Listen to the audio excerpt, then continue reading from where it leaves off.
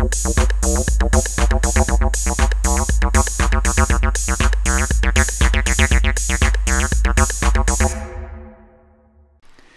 question a été posée sur Blender Stack Exchange de comment faire euh, ces animations donc de rotation d'objets flottants et qui se cognent. Donc euh, voilà une proposition. Alors ce qu'il faut d'abord c'est créer un objet, peu importe l'objet, et dans l'onglet des physiques, je clique sur Rigid Body de manière à ce qu'il subisse les physiques. Et ici je vais créer une fenêtre de type Sheet, donc je presse sur Shift F12 plusieurs fois jusqu'à être dans le sheet et je vais passer de sheet à Action Editor. Maintenant, si je presse la barre espace, mon personnage subit les physiques que je lui ai attribuées et il tombe. Alors ce que je veux faire, c'est euh, deux choses. C'est qu'il flotte et aussi qu'il y ait un mouvement initial, un mouvement de rotation et d'avance euh, dans l'espace. Donc pour faire cela, ce qu'il faut, c'est que j'active l'option Animated de mon Rigid Body. Ça va me permettre de pouvoir créer une animation, euh, en tout cas euh, une animation provisoire, pendant laquelle l'objet ne subira pas les physiques, et une fois que je désactiverai cette option Animated, l'objet subira les physiques. Donc pour la frame 0, je vais activer Animated, et je vais presser sur I pour attribuer à cette option une keyframe. Et après, à la frame 5 par exemple, je désactive Animated et je recrée une keyframe. Donc de 0 à 5, mon objet ne va pas subir les physiques. Euh, il va attendre que je lui crée une animation.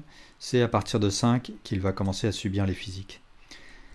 À 0, ce que je vais faire, c'est une petite rotation mon objet, un déplacement euh, sur X et je vais attribuer à cet objet donc avec I une keyframe de type Location Rotation Scale et à la frame 4, juste avant les physiques, je vais euh, déplacer légèrement mon objet, lui faire faire une petite rotation et créer une deuxième keyframe.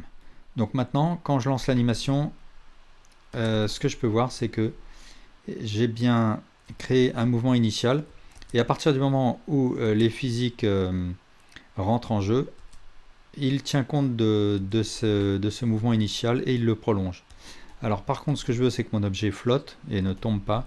Donc je vais cliquer ici sur le bouton Scene et sous Rigid Body World, sous Field Weights, je vais mettre la gravité à 0.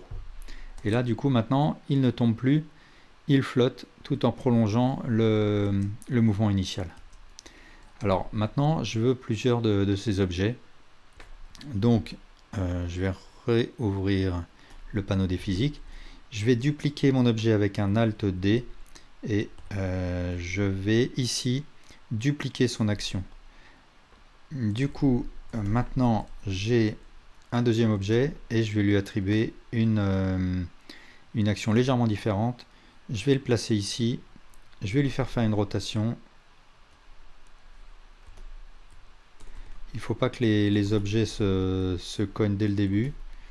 Je crée une keyframe, i location rotation scale Ensuite, je vais dupliquer cette keyframe, donc Shift D, et euh, à la frame 4, je vais lui faire faire une petite rotation. Il avance légèrement sur X, et je crée une deuxième keyframe. Et maintenant, quand je lance l'animation, alors là j'ai un problème avec mes mon interpolation, donc je vais passer de Euler à Quaternion, et euh, là, je lui fais faire la rotation Donc il faut que je crée deux, deux keyframes, boum, voilà. Maintenant, je vais créer un troisième objet.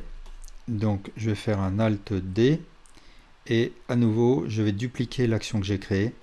Et cet objet, je vais euh, lui attribuer une autre position